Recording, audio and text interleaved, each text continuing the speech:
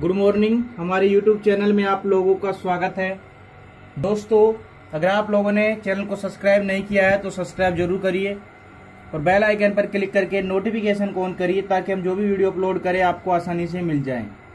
दोस्तों, आज मैं आपके लिए बहुत अच्छी मेडिसिन लेके आया हूँ, जो कि आयुर्वेदिक मेडिसिन है, बैद्यनाथ जैसे ब्रांड की, जिसका नाम है महासुदर्शन चूर्ण। जी हाँ दोस्तों महासुदर्शन चूर्ण है, जो कि ज्वर में, बुखार में इन्फेक्शन डिज़ीज़ में काम आता है। वायरल इन्फेक्शन डिज़ीज़ दो होते हैं, बुखार जैसी जुकाम, खांसी आदि में इसका यूज़ किया जाता है। तो दोस्तों, इसके अंदर कई सारे हर्ब इसके अंदर डाले गए हैं। जैसा कि मैं मैन मैन बताऊँ, गिलोय, तुलसी अश्वगंधा और आप देख सकते हैं कितने सारे यहाँ पे इसके अंदर। पूरी लिस्ट यहाँ पे बनी हुई है। आप शुरू से लास्ट तक देख सकते हैं।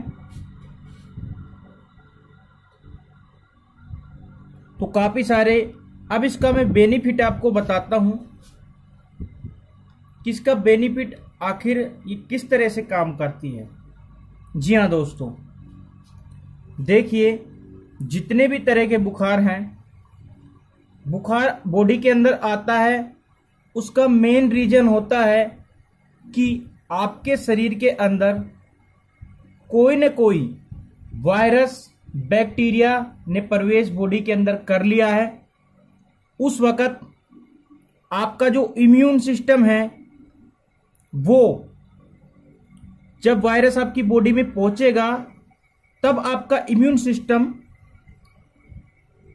बुखार, यानी कि शरीर का तापमान को बढ़ा देगा। और शरीर का तापमान जब बढ़ता है, शरीर का तापमान जब बढ़ता है तो वायरस जो होता है वो मर जाता है बैक्टीरिया जो होता है वो मर जाता है, और जीतता है वो हमारा इम्यून सिस्टम हमारा जीत जाता है।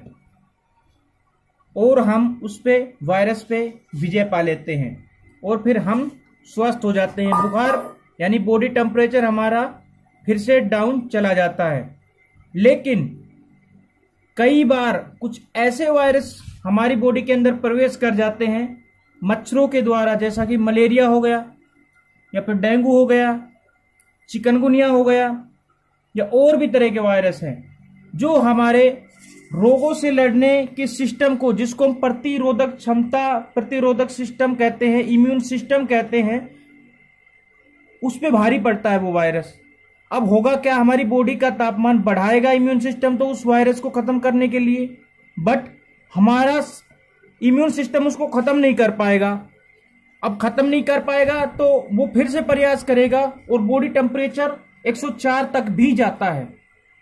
104 तक भी जाता है। पहले वो कम करता है, लेकिन फिर ज़्यादा बढ़ा देता है, क्योंकि वायरस, जितना बड़ा वायरस, उतना ज़्यादा बुखार। तो ये चीज़ होती है। तो टेम्परेचर उतना ज़्यादा होगा। अब दिक्कत यहाँ आती है कि टेम्परेचर बढ़ता है, लेकिन वायरस नहीं मर पाता, और इम्यून सिस्टम हमारा धीरे धीरे कमज़ोर पड़ना पड़, कमज़ोर होने लगता है।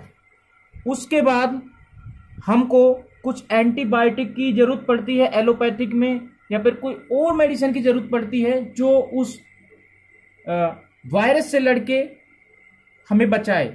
लेकिन यहाँ पे मैं आयुर्वेद की बात कर रहा हूँ एलोपैथिक के काफ़ी सारे नुकसान होते हैं।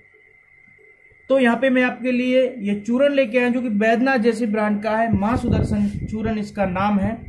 दोस्तों, इसके अंदर वो सारे हाब हैं, सारी जड़ी बूटियाँ हैं आयुर्वेद की, जो कि वर्षों से यूज़ की जा रही है बुखार के अंदर। जुकाम के अंदर, खांसी के अंदर, गिलोय। जी हाँ दोस्तों, गिलोय। बहुत ही पावरफुल ताकतवर चीज़ है इम्यून सिस्टम इसमें जितनी भी चीज़ें डली हुई हैं, तुलसी, गिलोय अश्वगंधा और भी सारी, जितनी भी इसके अंदर चीज़ें, जितनी भी ज़्यादा सारी इसके अंदर जड़ी बूटियाँ हैं, वो करते क्या है कि जो हमारा इम्यून सिस्टम है, बुखार के वक्त, बुखार वायरस हमारे शरीर के अंदर है, बुखार बॉडी का टेम्परेचर बढ़ रहा है इम्यून सिस्टम उस वक्त कमज़ोर हो गया है। उस वक्त अगर हम लेंगे, बुखार हमारा डाउन नहीं आ रहा है, इसका मतलब हमारा इम्यून सिस्टम काम नहीं कर पा रहा, उससे लड़ रहा है, कमज़ोर हो गया है, सक्षम नहीं है उससे, ठीक है, उसको मात दे, मात नहीं दे सकता। तब हम इसका यूज़ करते हैं, या किसी एलोपैथिक दवाई का यूज़ करते हैं। तो एलोपैथिक के साइड इफ़ेक्ट काफ़ी सारे होते हैं। मैं काफ़ी सारी एलोपैथिक दवाई के बारे में वर्णन करता हूँ। बट यहाँ पे मैं कोई साइड इफ़ेक्ट ना हो और आपकी इम्यून, वो वायरस, एलोपैथिक दवाई वायरस को तो मारती है, बट आपके इम्यून सिस्टम को मज़बूत नहीं करती। बट यहाँ पे जो मैं आपके लिए जो बैद्यनाथ का महासुदर्शन चूर्ण लेके आया हूँ, ये आपके इम्यून सिस्टम को ताकत देता है, ये वायरस को नहीं मारता आपके इम्यून सिस्टम को इतना ताकतवर बना देता है कि खुद वायरस को खत्म कर दे। और आप उस बुखार से, उस उस वायरस, अगर वायरस मर गया इम्यून सिस्टम से तो फिर बुखार ऑटोमेटिकली धीरे धीरे धीरे धीरे डाउन आने लगता है।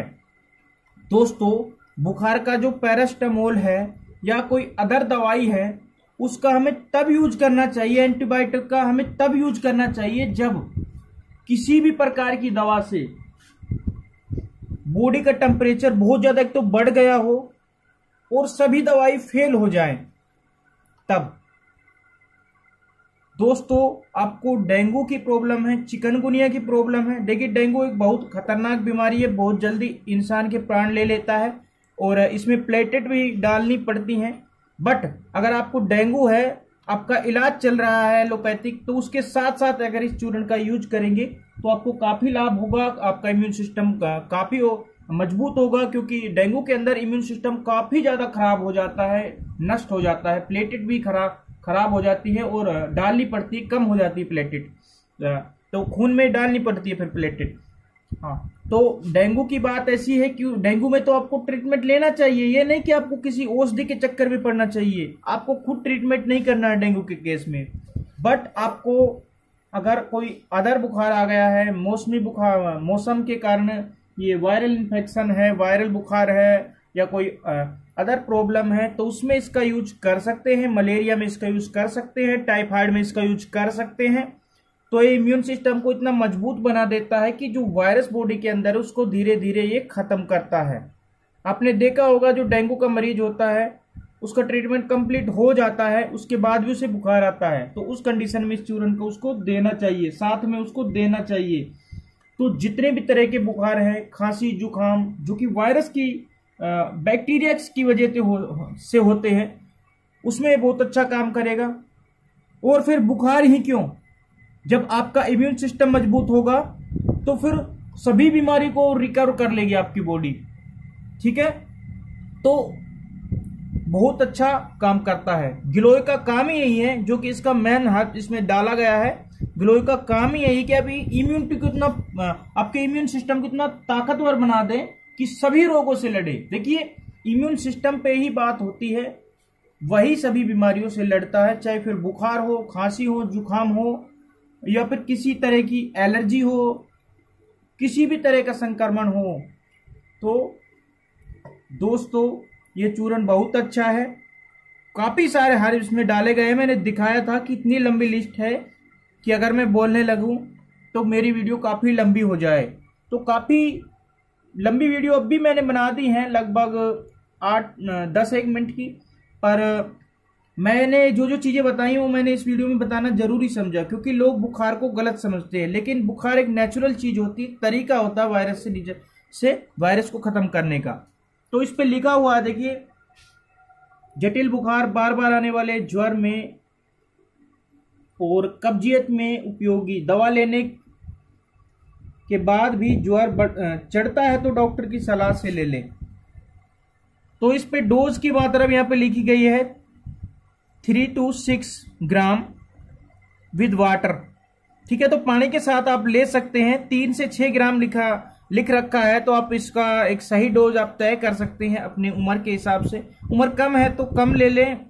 प्रॉब्लम कम है तो और प्रॉब्लम ज़्यादा है तो छः ग्राम ले लें। तो वो आपके बुखार के ऊपर भी डिपेंड करता है, आपकी उम्र के ऊपर भी डिपेंड करता है। ठीक है दोस्तों? तो ताज़ा पानी के साथ इसे आप ले सकते हैं। दिन में दो बार, तीन बार ले सकते हैं। कोई साइड इफ़ेक्ट इसके नहीं है। ये इम्यून सिस्टम को मज़बूत करेगा। ठीक है दोस्तों? तो इसे किसी भी मेडिकल स्टोर से आप खरीद सकते हैं। अगर अमेजोन पे ये अवेलेबल होगा तो मैं वीडियो के डिस्क्रिप्शन में लिंक लगा दूँगा अमेजोन से। वहाँ से भी इसे ऑनलाइन खरीद सकते हैं। ठीक है दोस्तों? तो आज की वीडियो काफ़ी लंबी हो गई है। तो आज की वीडियो में बस इतना ही। वीडियो